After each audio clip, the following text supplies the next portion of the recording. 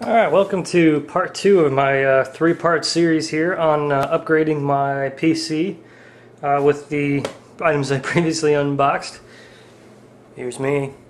So anyway, the this here is my PC as it stands. Um, I actually have the Thermaltake uh, Level 10 GT uh, gaming case. Basically, it's a very expensive case, but you really do get what you pay for with it. Uh, it's really a just a fantastic case. Um, I mean, just looking at it, it's, it's beautiful, isn't it? You got these hot swap bays that come out that you can put your different hard drives in, um, which you know is really good if you're using the uh, different way of using the hard drives that you can hot plug your SSDs or your even your uh, other SATA drives, which is real nice. So anyway, also got really good cable management. So I recommend this case if you are you know rich or you are really enthusiastic about having a, a really beautiful and wonderful case. Um, the other good thing to mention about this is this actually has really good filtration in it. Um, I know I was brushing off a little bit of dust there, but this is pretty much untouched. I haven't had to clean this, and I've had this for uh, over two years now, I think. So it's it's in really good shape. Uh, I mean, it's, it's can't really tell everything, but I mean, you can't see much dust in there at all. Uh, try to take a look around.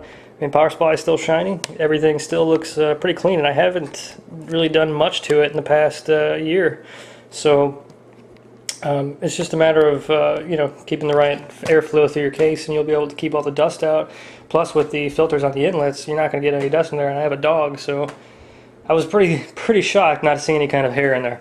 So first thing we're going to do in order to kind of prepare here is well, I'm going to turn the power off on the at the switch on the power supply. That's off. Um, this is just kind of more like a safety precaution. The other thing is I'm going to start unplugging things. Now, uh, one thing that you want to try to do is get an ESD strap. I have one. I have misplaced it for the time being, so I'm just going to go without it. It's not 100% necessary, but it's really a very useful thing. Uh, you can really be able to you'll be able to touch things without you know too much worry about uh, getting a kind of a static discharge and don't let anybody fool you. Just because you don't feel or see or even hear the static charge, uh, discharge tapping something, you, it still is a good chance that you'll short something out and damage some components, even if you don't see it or hear it.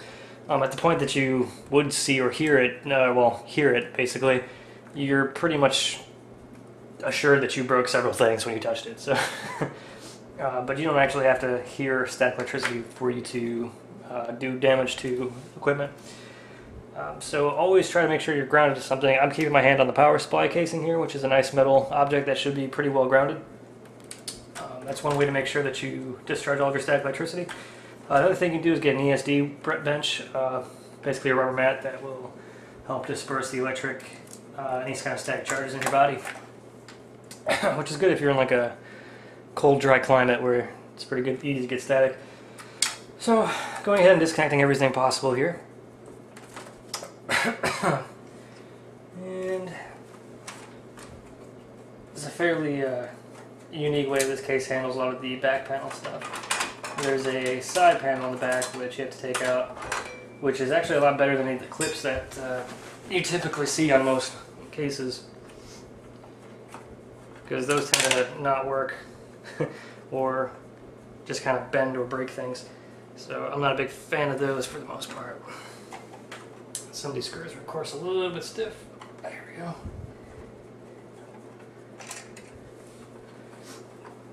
You want to be sure to make sure, uh, you know, keep track of all your screws and bits and pieces because you don't want to lose something that you're going to need at some point. Alright.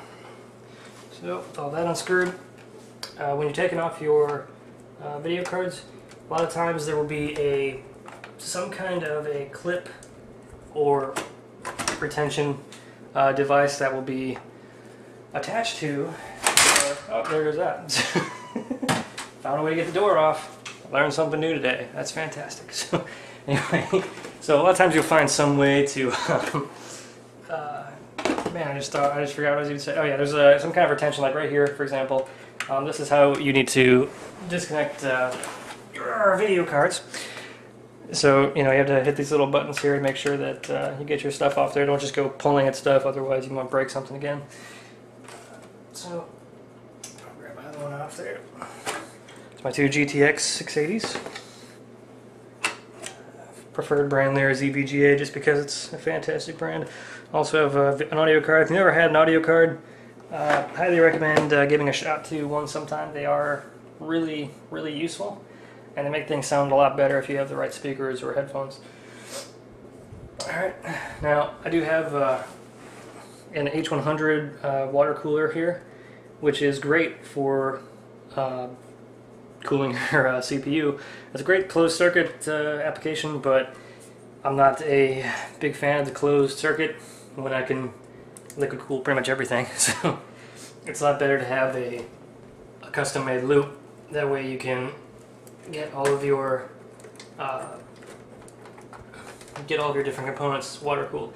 So with a closed loop, it just kind of this whole radiator right here is just taking up a whole lot of space.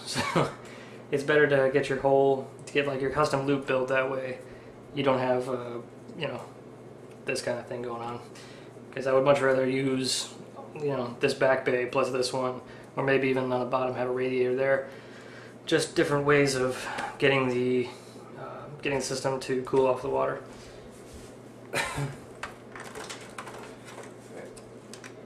and you do have to be somewhat mindful of what you're disconnecting and where you're plugging it into and all that kind of thing um, again this is one of those things where or one of those types of uh, boards that came with a little front side connector which are great little edge connectors because they really make things a lot easier. Um, so I'm just going to leave that on for now. That way I know where uh, where to plug things back into later. This is another Asus uh, board, by the way. Uh, actually, a really good board. I had absolutely no problems with it, and it's worked just fantastically throughout the entire entirety of my uh, use for it. And these, this is a, a USB 3.0 plug that uh, got kind of messed up somewhere along the line. Um, so unfortunately I can't use it anymore. so some of my USB 3.0 ports on the case itself are not too useful. But that's fine. So have everything pretty much disconnected here, um, except for the water cooler. I can pull that off after I get grab my screwdriver.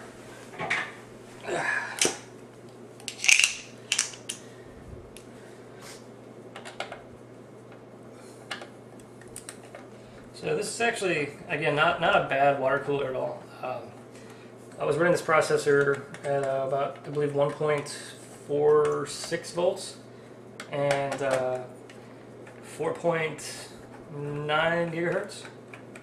It's 4.8. So I think it's, it's 4.8 and 4.9. Uh, I believe 4.8.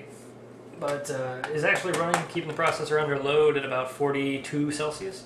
So really not a bad closed circuit water cooler at all. So if you're in the market for one of those, highly recommended. Um, not as expensive as I mean, if you only want to cool the CPU, closed circuit water coolers are great because they are a very cheap alternative to uh, buying a whole liquid cooling setup, which can be quite expensive. and there's that.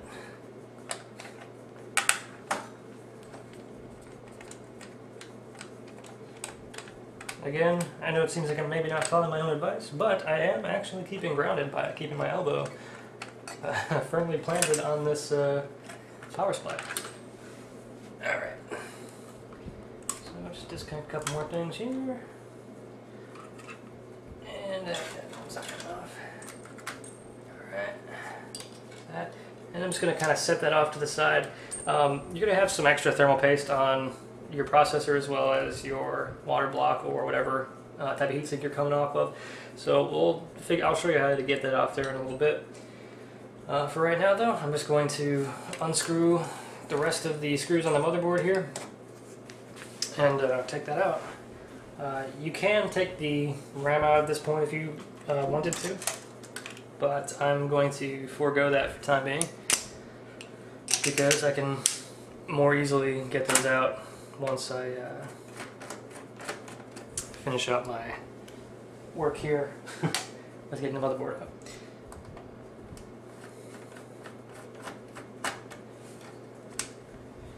Now the screws for your motherboard, or holding your motherboard in place, are more likely than not going to be ones that came with the case.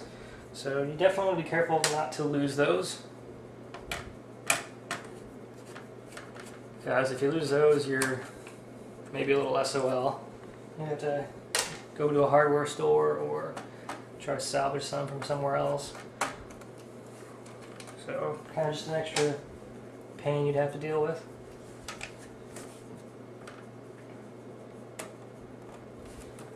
Also, of course, be careful when you're, you know, moving your screwdriver around. Try not to get the uh, screwdriver touching anything that shouldn't or scratching the PCB in any way.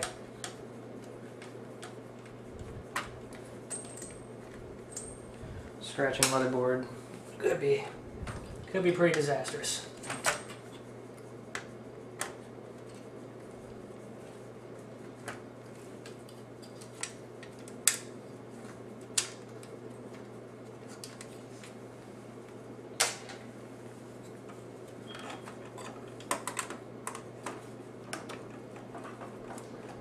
This should be my last screw.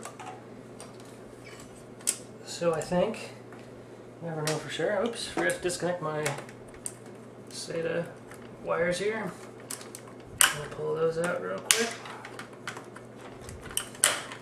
One thing I didn't mention that I really like about my new board is that it seems like all the SATA ports are the same type and brand.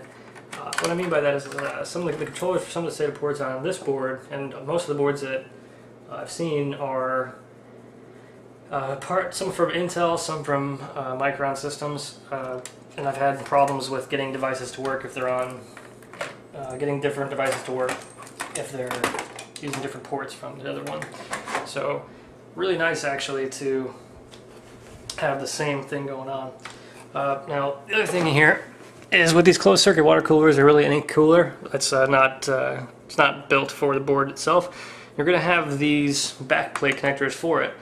So you want to make sure you get that off too, which may require a separate tool. In this case, I've got one of these cool screwdrivers that has a hex on one end too. So should be able to unscrew that fairly easily this way. So I'll just pull that off real quick.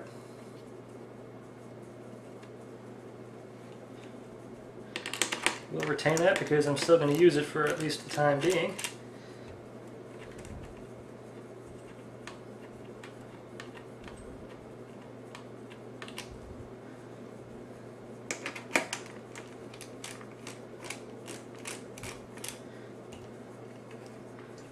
So, another thing worthy of mentioning is uh, when you're installing a new motherboard and processor, oftentimes, uh, particularly if using Windows, not so sure about Linux, uh, but definitely Windows, you really want to make sure you uh, are ready to format your hard drive and just get a new system going all together. Um, not only is a fresh start great for you know, troubleshooting and all that kind of stuff, but it's uh, usually going to be pretty much required because of the fact that there's uh, so many different drivers and other kind of conflicts that can occur. So it's really good to just get a fresh start and a clean install of your operating system. So here we go with the board. Um, it is complete, finished, taken apart, gone out of the case. Uh, pretty simple uh, procedure there, nothing too bad about it. Um, thing I'm going to do now is I'm going to have to clean off the water block here and uh, just kind of get all of the excess heats, uh, heat compound out there, or thermal compound out there, and uh, maybe just clean up the processor a little bit. Um, so for that I'm going to get some isopropyl alcohol and a paper towel, and uh, I'll be right back to finish that up.